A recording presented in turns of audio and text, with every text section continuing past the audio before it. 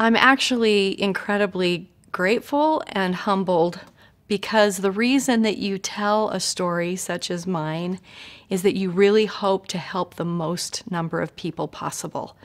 And there is no greater platform than actually being on a Netflix, you know, trending and, and not really knowing um, that that would happen. It's given me the opportunity to be, to be able to actually talk about what happened and maybe help somebody else prevent it from happening to their own children, their own family, um, raise awareness, get our antennas up, and start a conversation that maybe otherwise wouldn't happen with our children and with our with ourselves because we don't want to see it. This kind of abuse is so icky and so close to home. It's really hard to look at. Um, yeah, there's some people that are just like, I wanted to throw my TV out the window. I had to push the pause button. I couldn't watch it in one sitting. It was like the most ridiculous story. It was so everywhere and every twist and turn imaginable happened. And I just was so upset, just in general. Um, so I'm like, well, that's when you take seven years and you boil it down to a 90 minute documentary. A lot of people have said, We want more. Please give us more of the story. Please tell us how that manipulation and grooming happens. And so maybe there will be an opportunity to do that, but at least we can talk about it and we can look at how does that start? How does that grooming begin? How does the manipulator get you from point A to being their best friend to kidnapping and abusing your daughter? And then how do you not know or see it even still I don't want to give the whole thing away. People have to watch Abducted in Plain Sight to see.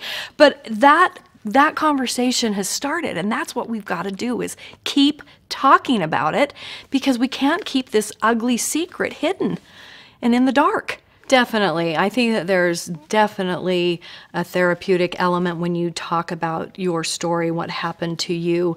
I think that it helps you find others who have gone through things so you're not alone in it anymore. I think just talking, like when I first asked mom about writing a book, uh, basically just for our family, like a family history, you know, those conversations that we had were so therapeutic for both her and for me because she's you know, still to this day takes total, you know, I didn't see it and I feel so stupid and I wish I would have done something different. You know, she still acknowledges her part in it. And I think telling the story makes you at least get it out and you're talking to people that hopefully understand or at least listen and that does that has a healing effect i mean it's the first it's the first step I had parents who listened and communicated. I had parents who loved me unconditionally. I mean, I treated my dad horribly during my 13 and 14 and 15 um, ages because I was told to. I had to have no relationship with him or I'd be vaporized, you know? So I look back and think he was an amazing person. And I think um, part of my forgiving my parents was really to to help them forgive themselves and to say, you too were groomed and brainwashed. And that's the part that I don't think people really understand. If it was easy to understand, they'd see it, and they don't. It's yeah, really they're they're pretty mean. yeah, I've read a few. And then my younger sister, my youngest sister's an attorney, and she's like, You're not reading them. I'm reading all of them. you don't need to do that part. You're doing the other part. You go out and talk to people. You do that. And then my sister, my uh, middle sister, Karen, so that's Susan, the attorney. And then there's Karen, and she called me uh, the Sunday after it came out on Netflix, and she's like, you have to know that you have done the bravest thing ever by bringing this story to the forefront.